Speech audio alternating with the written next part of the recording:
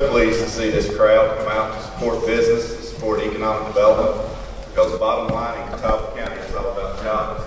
And I want to commend the chamber and the staff and all the, all the membership in terms of supporting this type of initiative and allowing us the opportunity to highlight the future as we look at some great opportunities moving forward. The person I'd like to introduce to you now is the chair of the Edison Project program. And let me tell you, Bill Worked tirelessly on this effort. And I'd like for you all to join me in welcoming Bill Parrish to the podium and thanking him for his efforts.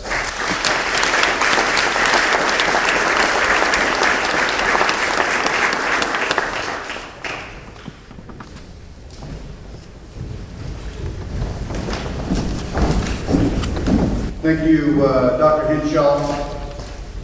Thank you all for being here this evening. I will share with you something that I know you're going to see a, another taste of, some excitement. I am excited. I'm excited for what we are doing here. I'm excited for what the Chamber has stepped forward to do. And I'm excited because of the recognition of entrepreneurship and entrepreneurs in Catawba County and the greater region. I want to share with you just a couple of thoughts before I introduce uh, uh, someone very special to me, and that is that I truly believe that we are in, and have been for a little while, the age of the entrepreneur. We have a lot of opportunities before us. Some of those have been uh, involuntary. So I'd say that we have entrepreneurs by choice, and we also have entrepreneurs by necessity. But people in this area are hardworking people. They're very creative. They're very diligent.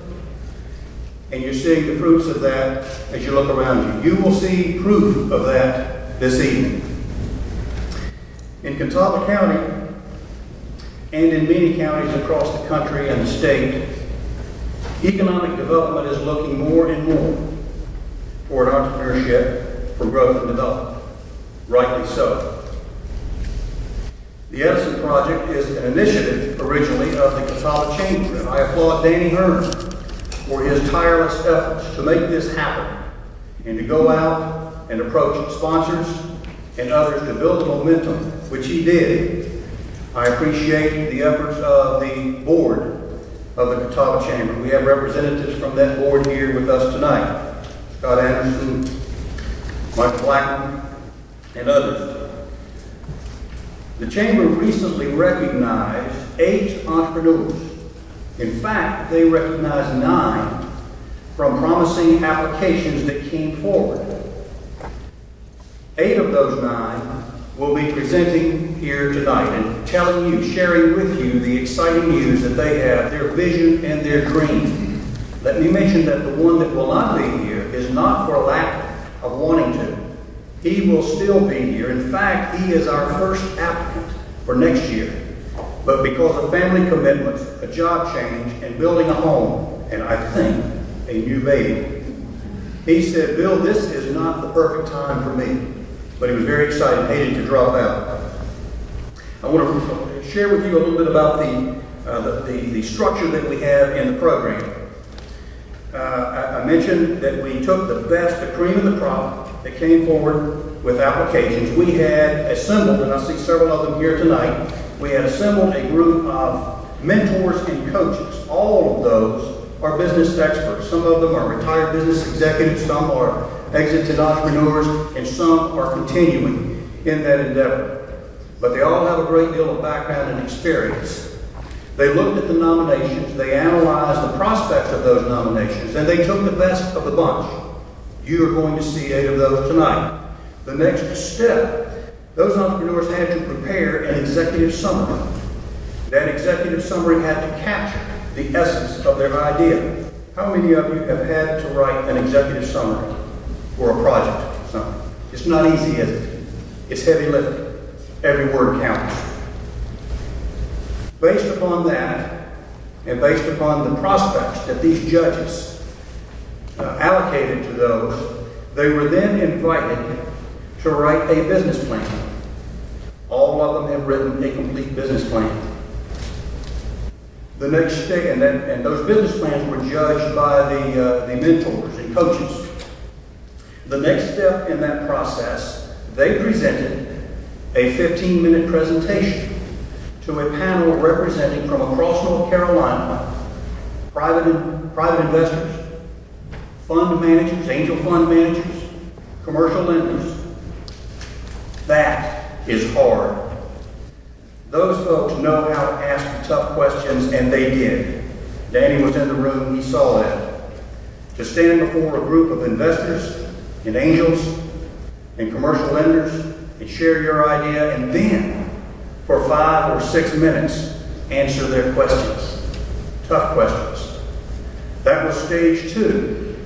Then they finalized their business plan, incorporating much of the feedback, much of the questions that they received from this uh, panel, and submitted those for final judgment. Tonight, you are seeing the third leg of that, and that's presentation to the general public. Much harder than a 15-minute presentation is a five-minute presentation. You remember, some of you remember, I'm I'm a big fan of Mark Twain, and he said at one time, he said, I would have written a shorter letter, but I didn't have time. That's hard work, that's heavy lifting, as I said before. So we're going to uh, share with you those presentations, but before we do, oh, and, and I left out something very important. In addition, we have sponsors that found this so important to, to Catawba County that they have made possible with contributions the allocation of prize funds.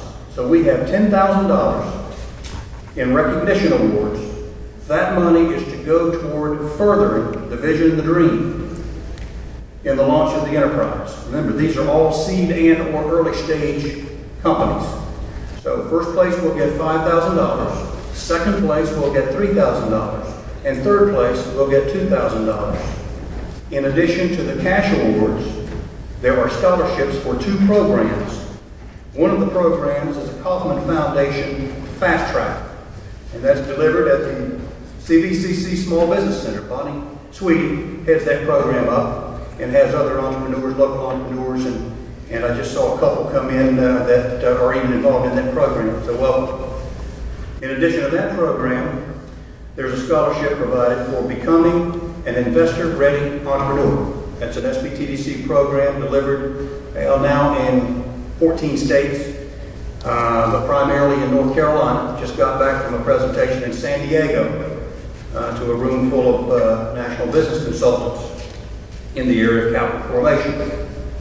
And most important, we have a commitment of these business coaches and mentors for the next 12 months to continue working with these entrepreneurs to ensure that they've got the best chance for success as they move forward.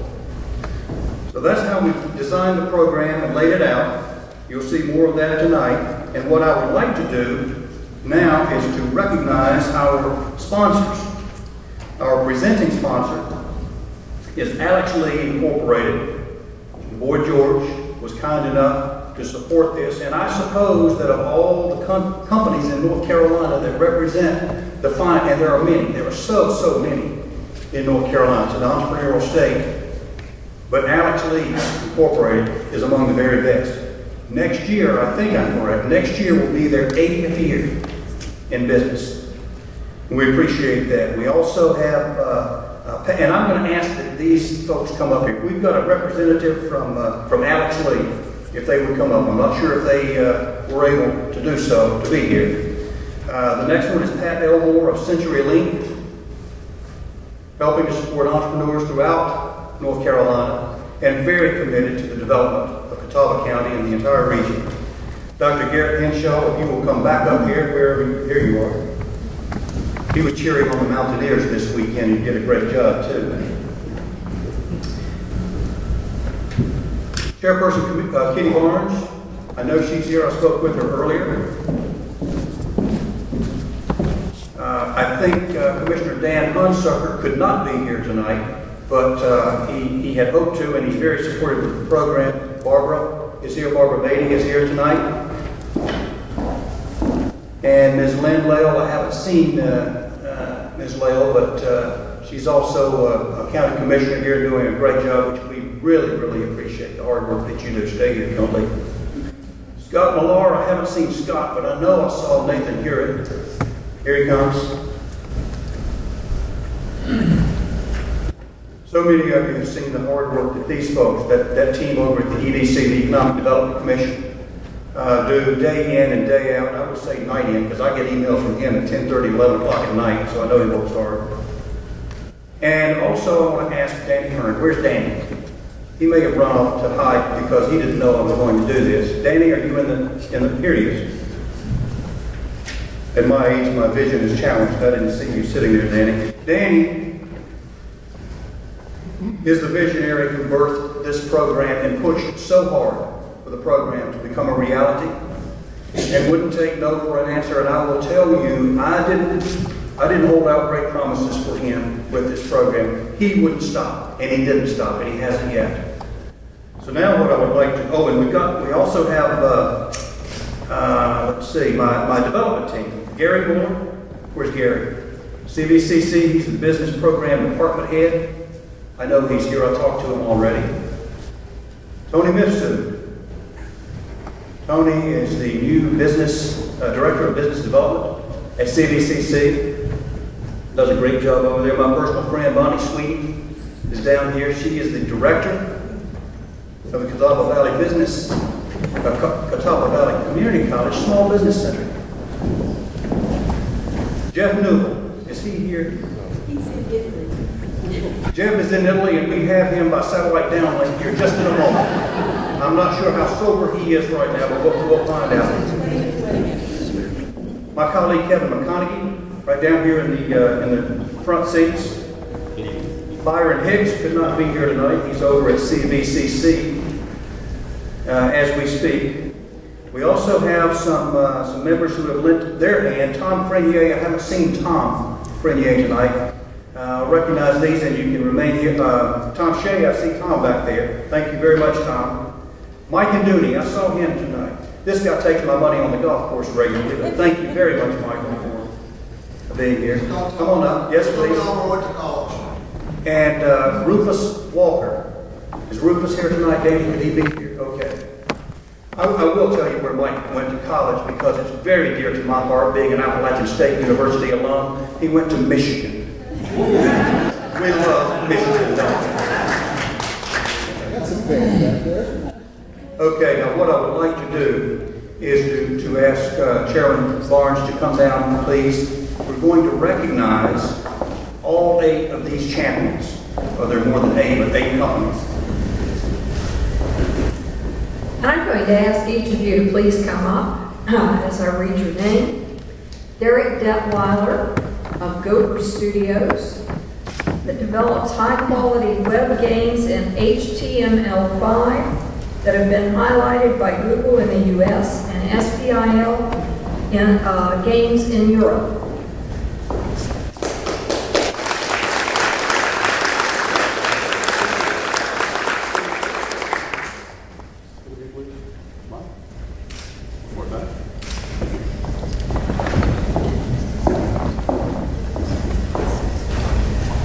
Billy Stephen Bradshaw, an independent step.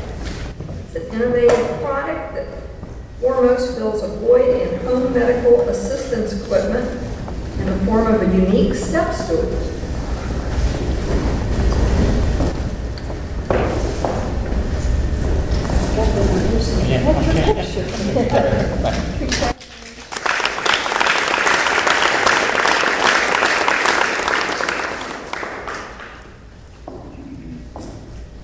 Dana and Steve DeCania, I come close to pronouncing. This is Puppy Paws, specializing in the latest natural innovations of dog treat products.